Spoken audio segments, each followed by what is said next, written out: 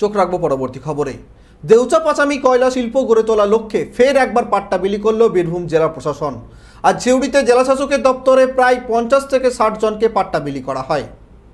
দেউচা পাচামি কয়লা শিল্প গড়ে তোলার লক্ষ্যে ফের একবার পাট্টা বিলি করল বীরভূম জেলা প্রশাসন। আর এ বিষয় নিয়ে জেলাশাসক বিধান রায় জানিয়েছেন, দেওয়ানগঞ্জ, হরিণসিংহা, তেঁতুলবাঁধ, কেন্দপাহাড়ি গ্রাম থেকে প্রায় দেড়শো জন মানুষ এসেছিলেন। তাদের ফের একবার কয়লা শিল্প প্যাকেজ সম্পর্কে বোঝানো হয়েছে।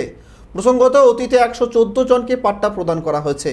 এছাড়াও তিনি আরও কি কি বললেন? শুনুন। না, বৈঠক মানে ওখানকার এলাকার মানুষজন তারা নিজেরাই বুঝে আজকে আমাদের এখানে এসছেন, প্রায় দেড়শো মানুষজন এখানে এসছেন, আদিবাসী মানুষজন এসছেন। আমাদের দেওয়ানগঞ্জ হরিণসিংহা যে আমাদের যে কয়লা ব্লকটি আছে, প্রথম যে ব্লক, সেই ব্লক থেকে এসছেন। তারা প্রচুর উৎসাহ নিয়ে এখানে এসছেন।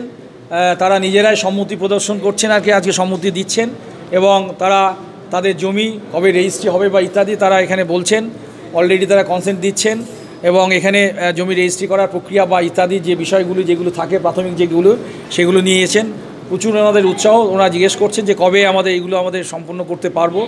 আমাদের হরিণসিংহা আমাদের তেঁতুলবাঁধ আমাদের দেওয়ানগঞ্জ আমাদের কেন্দপাহাড়ি আহ, এই বিভিন্ন এরিয়ার থেকে আমাদের মানুষজন এসছেন, প্রচুর মানুষজন, আদিবাসী মানুষজন, মা, দিদি, বোনেরা, ভাইয়েরা, দাদারা তারা এসছেন এবং তারা এখানে আজকে তাদের সাথে মিলিত হয়েছি। সরকারি ঘোষিত যে বিষয়গুলি, সেই বিষয়গুলি তাদের সামনে আবার নতুন করে আমরা ব্যাখ্যাও করেছি। তারা জানেন এই বিষয়গুলি। আমরা যেহেতু ওনারা এসছেন, আবার আমরা ব্যাখ্যা করেছি।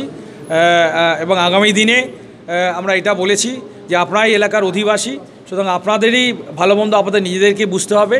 ওরা সেটা বুঝে আমাদের কাছে এখানে এসছেন এবং ওনাদের শিল্প ওনাদের শিল্প চর্চা, ওনাদের পাথর খাদান, ওনাদের যাবতীয় যে বিষয় ইত্যাদি তারা নিজেরা বুঝছেন এবং ওনাদের শিল্প ওরা নিজেরাই গড়বেন ওরা নিজেরাই বললেন আমাদের। পাট্টার বিষয়গুলি যেগুলি আছে সেটা হচ্ছে এর আগেও আমরা প্রায় একশো চোদ্দ জনকে পাট্টা দিয়েছি, আজকেও প্রায় পঞ্চাশ ষাট জন এরকম পাট্টা প্রাপক এখানে এসছেন। তাদেরকে আমরা কথা বলেছি তাদের সাথে আমরা এইভাবে করেছি। এছাড়াও বহু মানুষজন আছেন তারা তাদের জমি কনসেন্ট লেটার দিতে এসছেন কেউ আমাদের জমি রেজিস্ট্রি করার জন্য ইত্যাদি এসছেন সে প্রক্রিয়াগুলি এখানে চলছে।